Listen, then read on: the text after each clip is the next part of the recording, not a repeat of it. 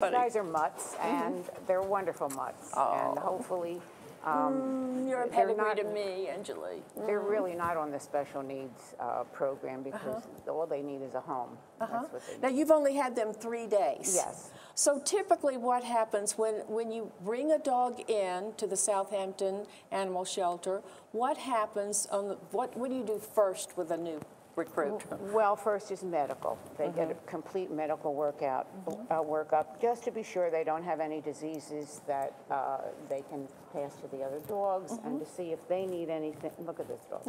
if they need anything uh, in terms of medicine, uh, we make sure that their rabies shots and all their other shots are up to date.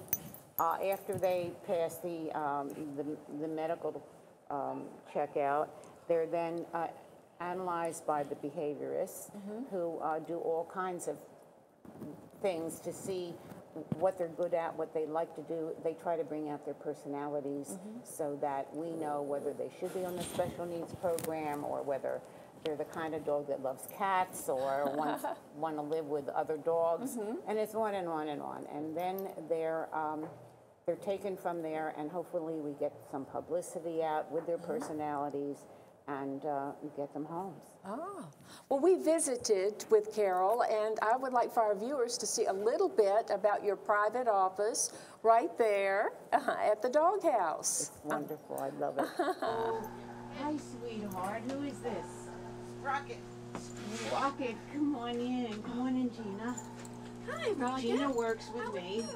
And this is little Sprocket. Hi. This is a little baby. What you doing, honey? You had such a tough time. He's one year. When you He's one- The reason why I like to use the baby food is that I want them to know that my hand is a good thing, and mm, all right, now this That's a too- success. This is a little too easy, and that it tastes good. And now you see he's licking the food, but he's licking me, mm-hmm. and so he gets to know, you know, what I smell like, what I feel like, and that I'm just going to love him to death. And I'm probably going to adopt him this afternoon because, I mean, This is the easiest case you've ever had in special needs. So there we have Carole in her office, and um, it was really interesting. And I'm so sorry we lost a lot of the tape of the whole facility and also the, the people on the staff, which were really incredibly devoted. My goodness, I think that that is, it'd be so hard to beat a staff that's that committed to um, I mean, animal I- welfare. I mean, it's wonderful. I, I am a bit prejudiced, but I will say that I've worked in many different shelters, and we, we are the best. And we're going to continue to improve and be super best. Ah, now what, uh, I, I know that you have a grand benefactor, but you also have to raise money to keep this going. Absolutely, especially uh, all the costs involved with starting a shelter. There's so many things that we need, and, and so many, we have a large wish list. Uh, we had a wonderful fundraiser this summer. Uh, we've just had a fundraiser uh, in Hampton Bays at the Barney Barns. So we're appealing to the people um, who have money, uh, who can, and love animals, and we're also appealing to the community. That's our goal is to uh, be something for everybody. The main thing is that the dogs get adopted into an appropriate home, and the cats. Uh-huh. And Let's the not forget the cats. Well, what about Let's the not forget the cats. and the squirrels? Oh, wow. Yeah, yeah. We, So- we have uh, quite a. Uh, An array. Uh-huh. Yes, yes. I think people will be amazed to know how clean rabbits are. You know, they really are clean. I, Yes, well, I don't do rabbits, Okay. but uh, they are clean, yes. Well, do you work with the cats at all? No, I don't do cats You either. You just do, you specialize with dogs. Now, how could I do anything else but this? I Oh, my goodness. These Look at dogs this. are just so, so wonderful. These are precious dogs. They really are. I'm falling in love. That's the problem is you meet all these rescues and then you don't, uh, you can't keep them all. Right, well, I do, in another part of our program, we take them home for a home evaluation. Mm-hmm. And um, that's always interesting, and it gives you a lot of feedback, so that when people come to adopt the dog, we can tell them you know, they like to jump on the table and eat your food or whatever they do. Uh, But they don't do that. Right. Uh, So it just gives a complete picture to the, to the person, um, and there's no surprises. Uh, Right. We tell them the good and the bad, and they get, they, uh, then the dogs don't get returned. Uh huh. Well, it was interesting when I adopted Nicolette, they started saying, Oh, you know, that dog is squeals and she's so loud, loud, and that dog is definitely not a lap dog. And she is the biggest lap dog. I mean, people that see her here. And I think that sometimes, Carole, and correct me if I'm wrong, but I feel like dogs react differently to different people. And also when they're more comfortable, when they know it's for real, then they become attached. And they, you can get things out of love. We call this segment the power of love. And the reason we call this the power of love is because of the way that you handle, and I have seen some ferocious cases come into your, your thing, and they're uh. like, become like this, where they just like, oh, Oh, I'm Carole's, I'm so happy. You're amazing I'm with them. glad to hear you say that, but, I mean, when you think about, it, these two little dogs were, were in Georgia two days ago, and here they are on TV.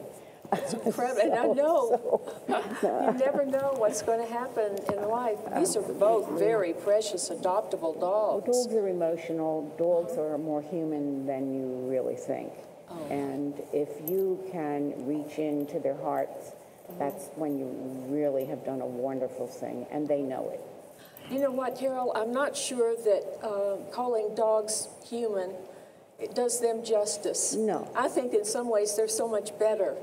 They don't treat us the way that we have treated them in so many things since I've been working with animals now and finding out how uh, humanity, it even makes me question the name humanity because the atrocities that happen to these little fellas in um, puppy mills and a lot of the different things that are going on it just opened my eyes. And, um, you know, I originally started out with Eastminster, which was about, you know, a takeoff on Westminster and about dogs that were like these mutts that wanted to put time to shine and, and put them so that they could actually um, be show dogs too.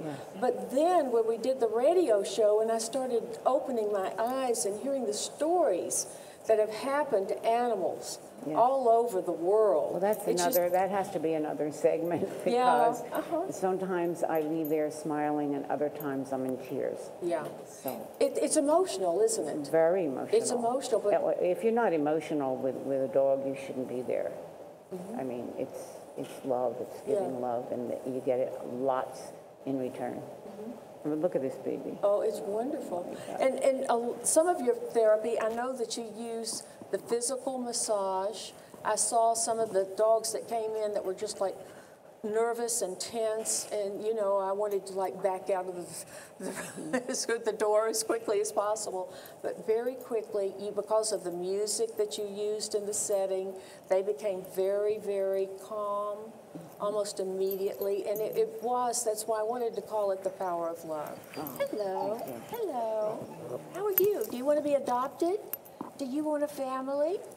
Yes, I think Angeline wants to have a family. So somebody that's out there that wants to adopt a pet can certainly come.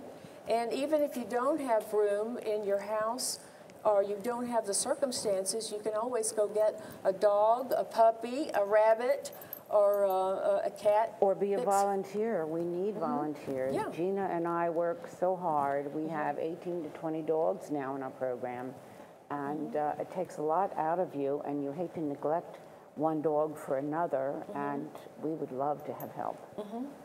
Well, I wish Gina could come over for a second, but she has got Lexus toned down. So Lexus has been very quiet and very docile, and she's just right there on the floor with Lexus, keeping it very, very calm. So it's it's really a wonderful thing.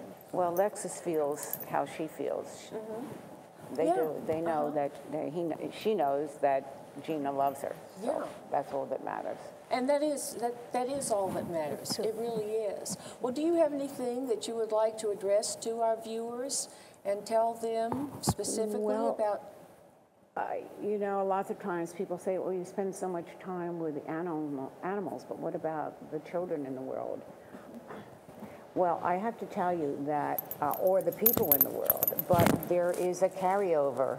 Uh, Many times I get volunteers who are suffering from depression, uh, have had uh, really bad situations at home. This is treatment for them. I have uh, children with uh, attention deficit disorder. Uh, I teach them how to really focus and plan programs, and it's treatment for them. So it just keeps on going and going, and uh, you don't just give to the dogs, the, give, the dogs give so much back to you. They really do, and also it's important for people that are considering maybe adopting a pet. Children that live in families that have pets have higher attendance in school. They also have uh, um, better recovery rates, as do adults. People, they've done research on this and found that people, adults, heal from he- um, heart operations. Um, of course, we've talked about the benefits that they can even sniff out cancer. There's so many things that dogs are able to do. And, and with children, they learn responsibility. Right. That is very, very important. It is important. Yes. Yeah, they do, and that's a, a very important aspect. It really is. Well, can you tell us about any other dogs here that people might be wanting to adopt? Well, we just have so many dogs. Uh, they all have a story. Um, they all uh, are looking for happy homes. So if you come in and you tell me what you want and what fits into your life, I will find you somebody. or some dog, somebody. You found a couple of dogs yourself now. You want to talk about your own dogs and why you picked those? well, they picked me, actually. Um, And they do. They Dogs do. do. They Oh, picked yes. us. Oh, yes, They yes, picked yes, us. yes.